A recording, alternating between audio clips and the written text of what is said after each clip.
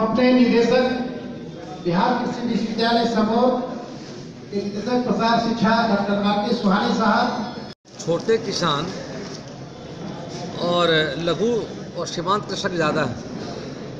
और आज की जो बड़ी आबादी है, उसमें कुल मिलाकर मैं देख रहा हूँ एट्टी नाइन परसेंट लोग गाँव में रहते हैं। और छिहत्तर फ़ीसदी आबादी कृषि कार्य जुड़ा हुआ है अगर। तो आज की एक बड़ी आबादी जो कृषि कार्य से जुड़ करके देश को और राज्य के लोगों को अन्न उपजा करके मैंने भोजन उपलब्ध कराने का काम कर रही है करके। राज्य का अर्थव्यवस्था जो है, उसका ऋण कृषि हमारा जाकर के है। और उसी तरह से मैं देख रहा राज्य में औसतन पंचानवे परसेंट किसान लघु और सीमांत से मिले जाते हैं। तो हम आज एफ़ बना रहे हैं। और एफ़ बना हुआ राज्य के अंदर में है। एक और बामित्री के माध्यम से दोबारा एफ़ बनाए गए हैं। बागरी के द्वारा बीस है और को बहत्तर बनाए गए हैं। तो लगभग पाँच सौ दो एफ़ बनाए गए हैं और पंचायत के स्तर पर हम लोगों ने नौ हज़ार किसान हिस्सा समूह और आपका क्या कहते हैं, खास सुरक्षा समूह गठन किया गया है। तो कुल मिलाकर आज का जो कार्यशाला का उद्देश्य है कि हम कृषक को उत्पाद संगठन बनाकर किसानों की खेती की लागत को कम करना जाता है। और बाज़ार पहुँचने में या खरीदारों को भी सुविधा होगी जाकर तो कुल मिलाकर हम सामूहिक खेती को बढ़ावा देने के लिए कृषि यंत्र बैंक लगाने को लेकर किसानों को सामूहिक ट्रेनिंग दे रहे हैं। तो हर एंगल से हम लोग को लगा कि सामूहिक खेती काफ़ी लाभप्रद होगी। उसी दृष्टिकोण से आज हम लोगों ने यहाँ पर कार्यशाला का आयोजन किया गया है। उनसे परामर्श भी कर रहे हैं, विमर्श करने उनकी राय लेंगे। अपनी राय देंगे भी जाकर मुझे काफ़ी खुशी हो रही जा करके है कि आज कार्यशाला का आयोजन के माध्यम से आने वाले समय में यह पहल, उम्मीद का पता सब। धन्यवाद।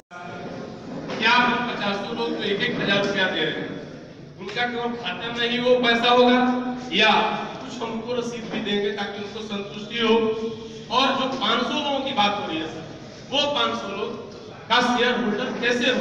उनको क्या होगी? बहुत दूसरी बात, सर। ये ग्रांट लोन के विषय में भी आप बताएँगे देखिए पहला सवाल आपका था। था पहला सवाल? पहला सवाल आप बोले क्या था सर जो रजिस्ट्रेशन रजिस्ट्रेशन का क्या फ़ी देखिए। साल। हमने कहा क्या कि आपकी जो रजिस्ट्रेशन होगी कंपनी एक्ट 2013 भारत सरकार में रजिस्टर्ड यानी जितनी सवाल है ये खत्म हो जाती है।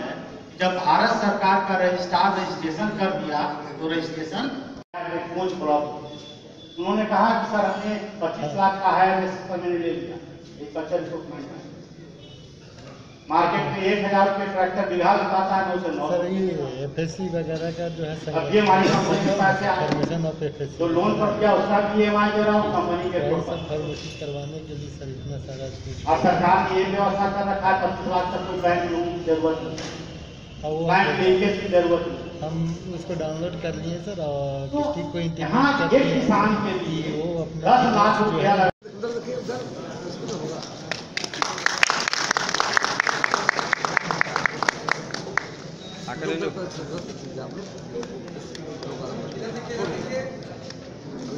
छोड़ दिया।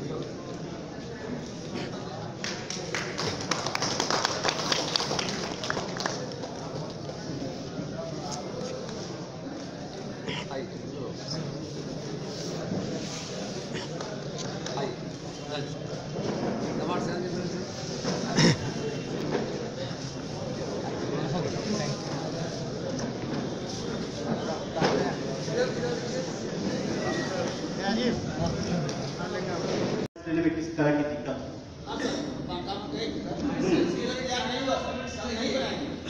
इसलिए मैंने कहा क्योंकि मैं भी उसी लिए बोला क्योंकि हमें एस एस वाले ने कहा था और ये गाइडलाइन दिया भी था।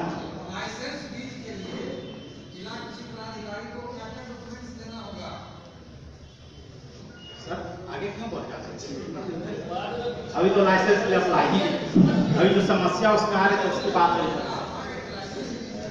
जब आप कंपनी बना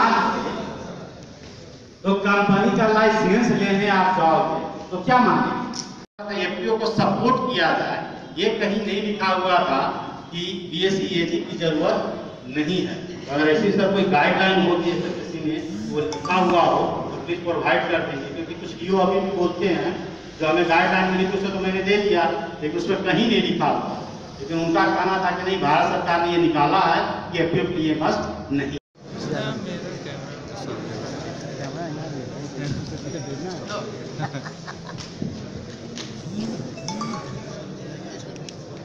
खाली है तो को-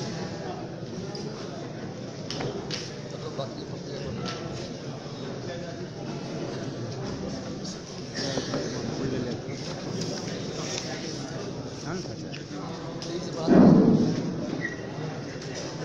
आज हमारे बीच कृषि